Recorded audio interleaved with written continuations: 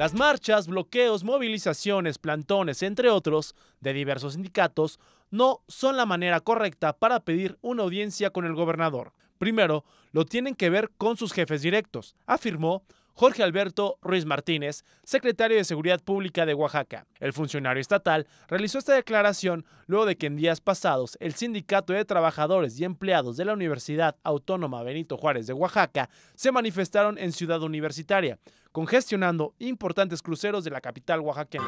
Bueno, mire, yo eh, quisiera primero comentarle que nosotros como gobierno, y ha manifestado mucho el gobernador Gabino Cue, somos muy respetuosos de todo lo que es la lucha sindical.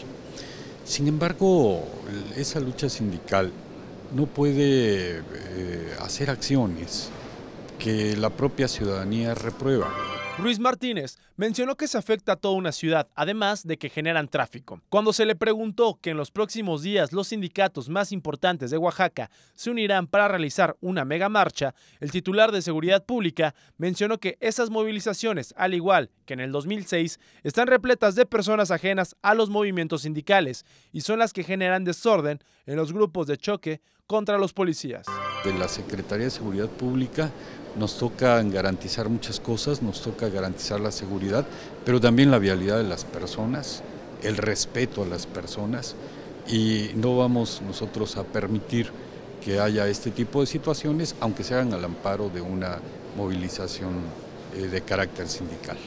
Algunas movilizaciones, bloqueos que hicieron las gentes sindicalizadas eh, pidiendo una audiencia con el gobierno, cuando lo, lo primero que hay que entender es que no es el gobierno quien lo resuelve. El, patrón del propio sindicato es la universidad.